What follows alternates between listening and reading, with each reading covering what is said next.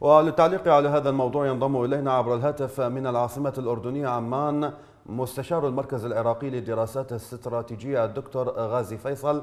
أهلا ومرحبا بك دكتور غازي. بداية وفقا لتصريحات الحكومة في بغداد وزارة الهجرة تقر أن 55% من النازحين لا يزالون في المخيمات. إلى ماذا ترجع عدم عودة النازحين لمدنهم؟ شكرا جزيلا وتحيات لك أستاذ أفل. أه، أعتقد أن التقديرات أو الأرقام اللي تصدر مع من المصادر الحكومية أه، الرسمية مع الأسف غير دقيقة إذا ما طبقناها مع الواقع. هناك معلومات من خلال الاتصالات مع آه، الناس والأهل في الموصل. على سبيل المثال ما زالت المناطق والأحياء اللي دمرت واللي يزيد عن 80% ما زالت مدمرة. وما زالت هناك جثث تحت الأنقاض. هناك أكثر من 11 ألف آه، قتيل في الموصل. نعم. هناك أكثر من 3000 مفقود.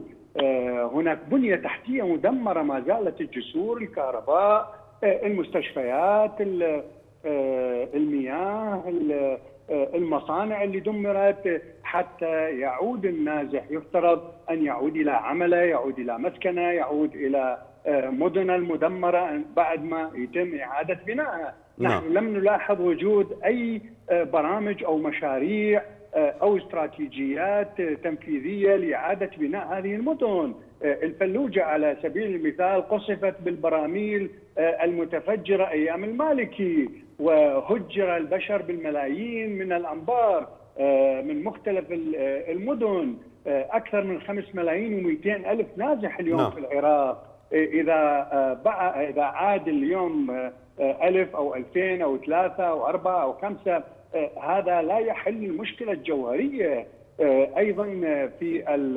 المعسكرات أو في المخيمات تنتشر الأوبئة سيدي الكريم هناك أكثر من نعم. 39 وباء طيب. آه، هناك آه، انتهاكات خطيرة أشارت إليها الأمم المتحدة وتتمثل آه، بالاعتداءات الجنسية بالكلام عن هذه الانتهاكات و... و... نعم. بالكلام عن الانتهاكات وجنابكم ذكرتم الأعداد بالنسبة للنازحين.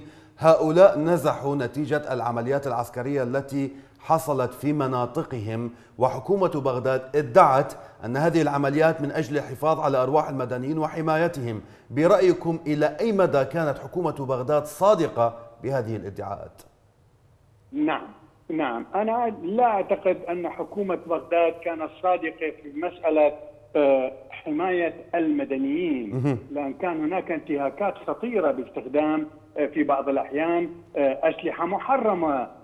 سواء من قبل القوات الدولية قوات التحالف الدولي أو من قبل فصائل في آه، الحشد أو من قبل آه، بعض الصنوف في القوات أو في الجيش العراقي. أيضا نتذكر تماما أن هناك استخدام للقوة المفرطة على سبيل المثال استخدمت الصواريخ.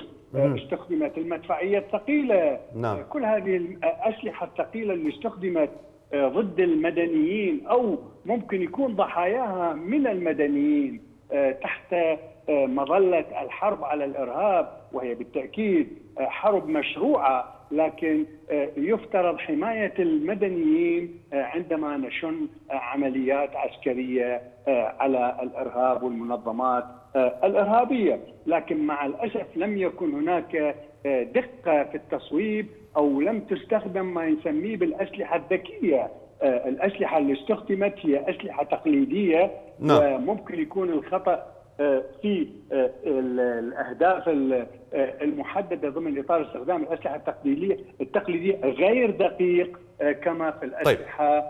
الذكية كما تعرف حضرتك كل مشاهد ميليشيات الحشد الشعبي منعت النازحين من العودة إلى مناطقهم في ما قال عنه مراقبون أنها محاولة للتغيير الديموغرافي في تلك المناطق برأيكم ما هو دور الميليشيات في هذا الأمر؟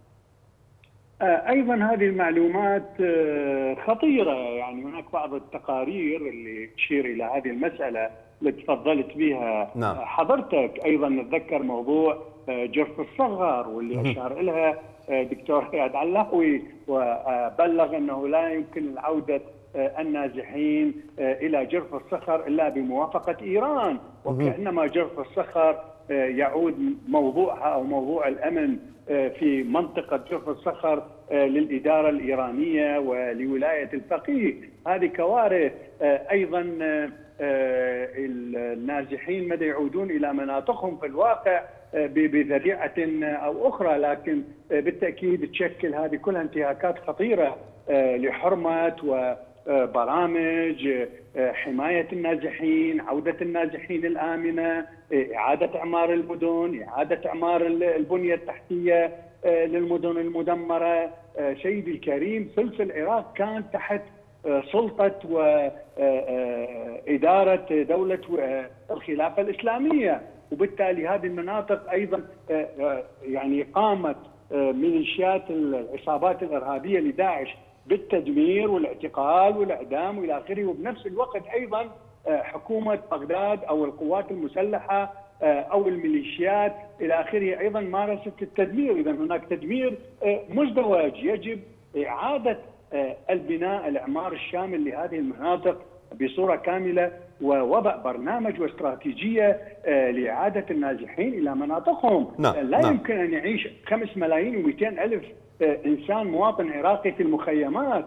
يعني هذا شيء غير معقول. نعم. تذكر حضرتك يوم الخميس الماضي المفوض السامي لشؤون اللاجئين يتحدث عن 66 مليون نازح في العالم ربعهم من سوريا والعراق. هذه كارثة كبيرة بسبب الحروب اللي دمرت نعم. المنطقة ودمرت المدن مس... وواحده من أسباب انتشار هذه الحروب المدمرة بالتأكيد السياسة الإيرانية نعم. الإجرامية مستشار. واستراتيجيتها لتدمير نعم. منطقة الشرق الأوسط وخصوصا العراق وسوريا.